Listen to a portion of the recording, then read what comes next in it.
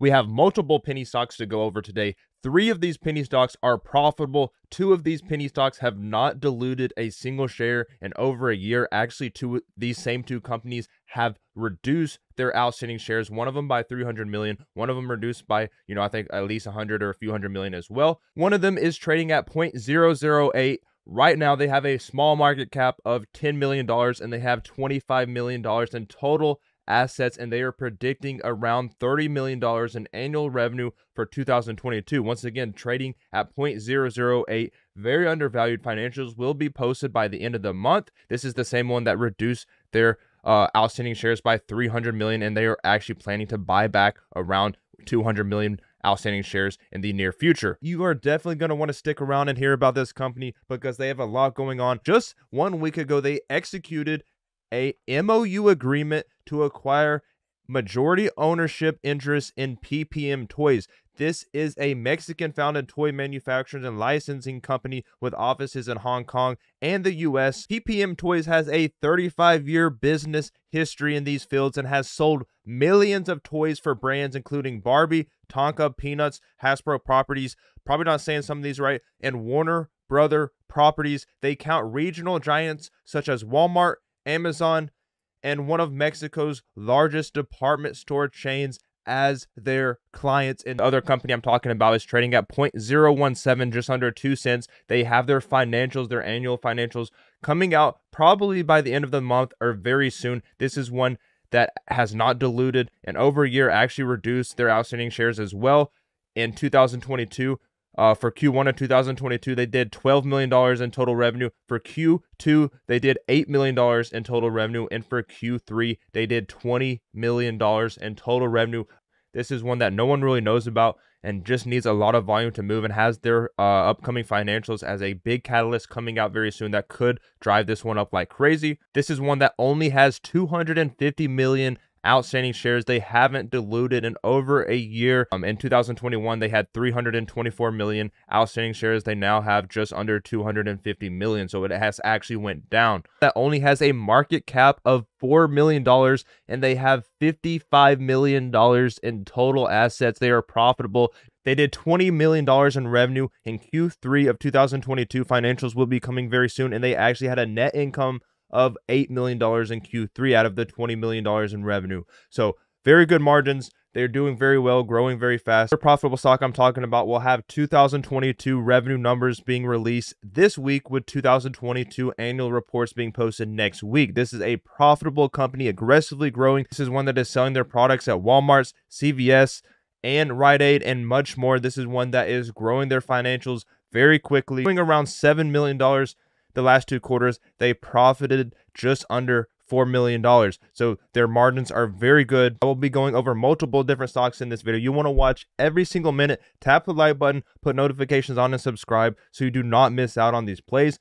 Three of these stocks are profitable and growing very quickly. Like I said, two of these haven't diluted at all in the last year. They actually had their OS reduced. So this is very good to see. All right, first ticker I'm talking about is the one that is predicting around $28 million in total revenue for 2022. They are trading at 0.0083 up 1% today. Share structure market cap of $10.3 million. As you can see, they with a market cap of $10.3 million, but they have $25.6 million in total assets. What does that tell you? They are very undervalued and they are profitable. Uh, as you can see, they do have 1.2 over 1.2 billion outstanding shares. Almost half of those are locked up. Looks like the float is around 700 million. So the share structure isn't, you know, that great, but it also isn't that crazy as well for an OTC company. Could be a lot worse. Looks like the AS is at 2.5 billion, so they still have room for dilution. But as you can see right here, as you can see, in December 31st of 2021, they had 1.4 billion outstanding shares. Today, uh, on in 2023 in March, they have only one point or they have under 1.3 billion outstanding shares. So this has decreased and they haven't diluted in over a year or two. This is what you want to see. Looking at their financials, looking at their financials, you can see they are growing very fast. Uh, looks like they did $24 million in revenue for 2021. And as you can see right here, they've already done that and they still have Q4 coming out very soon. This is a big catalyst. You can see their revenue numbers are continuing to go up. They had some very big news coming out. They had PPM Toys uh, MOU agreement for that last week. And just today, they have a definitive agreement for a wellness and health uh, company. This acquisition estimates revenues of $8 million from their current and pipeline contracts, and they are projected to grow up to $20 million by 2027. Very big news here. Didn't really move the stock price up that much, but this one has earnings coming out very soon. Um, looking at some of their looking at their 2022 report to shareholders, they had 100 franchised and licensed Epiphany Cafe outlets established in 2022. Very good uh, distribution here and marketing by this company. Pro- product distribution team in the United Arab Emirates has brought our F&B products to North America ahead of a formal formal launch of Epiphany Cafe in Canada this, to this year. So they're uh, growing all over the globe. It looks like they finalizes a stake in UK-based cybersecurity solutions provider CyberQ. There's a lot more you can go on OTC Markets and read about yourself, but they are doing a lot right now.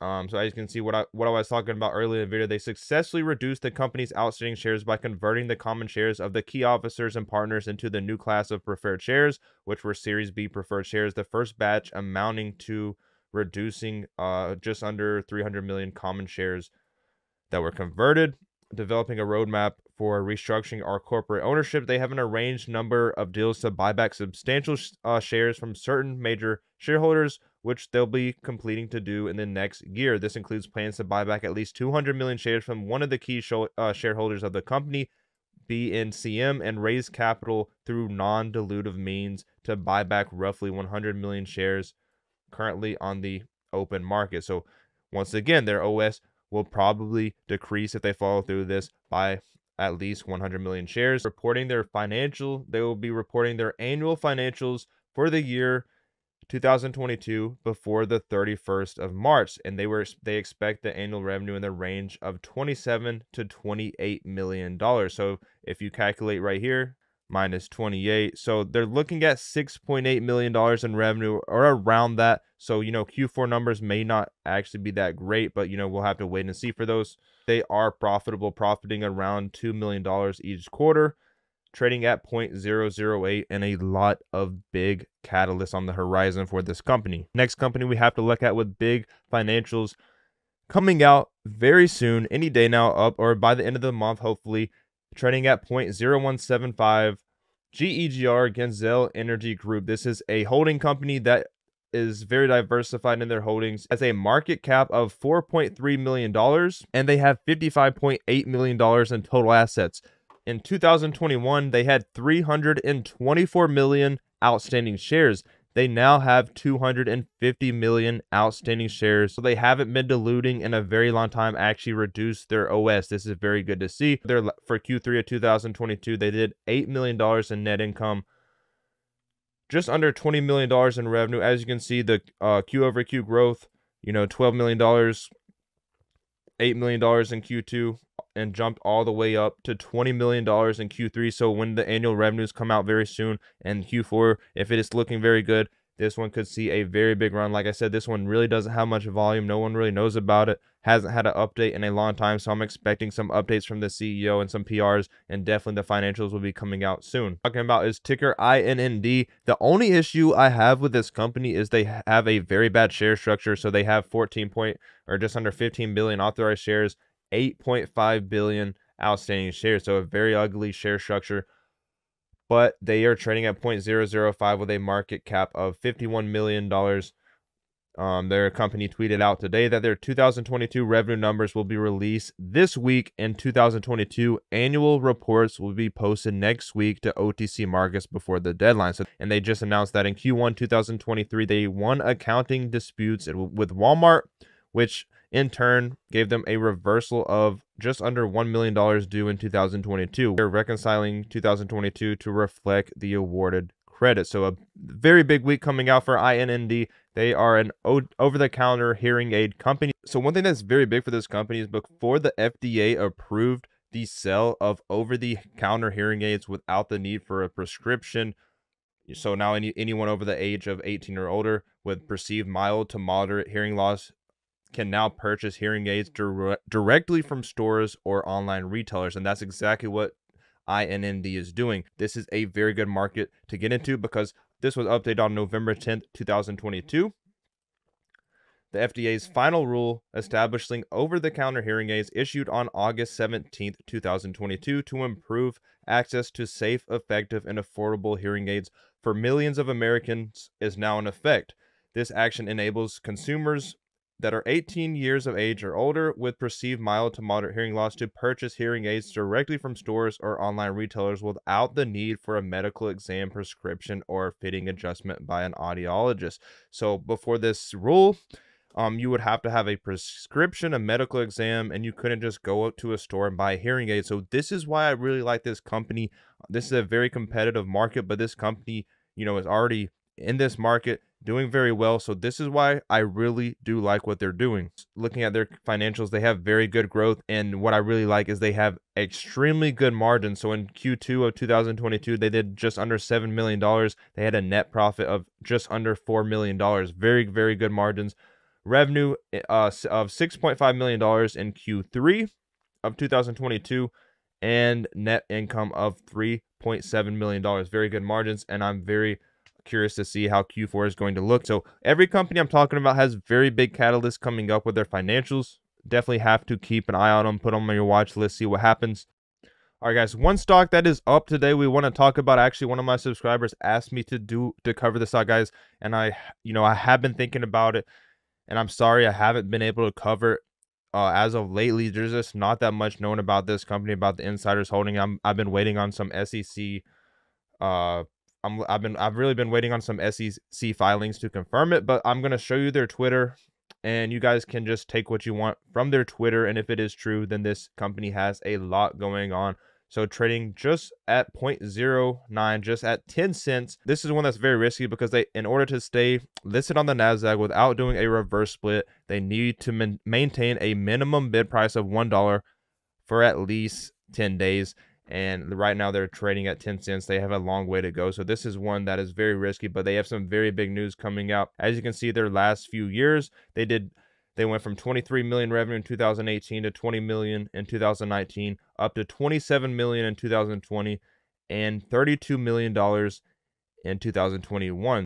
So for their last three years, not counting 2022, their revenue has continued to go up and their margins have continued to improve. So this is what you really want to look at on their balance sheet. It looks like they do have around 114 million total assets um, this has continued to go up as well. At their Twitter, this is all I'm going on here because I'm running out of time, but I'm going to show you guys some updates and you guys can do your own research. You know, this may not even be their official Twitter, but apparently it is. It says it says uh, Stewart Lor's 29 million share buyback of PBTS stock will be evidenced by a 13D filing tomorrow. This is when I this is what I want to see with this company some actual filings to prove what they're saying. Three hours ago, they tweeted they acquired 51% of a digital trade infrastructure company, DTI Group. Their revenues for 2022 was over $9 million. This acquisition is a strategic move that contributes to the expansion of PowerBridge's operations by building a digital trade ecosystem.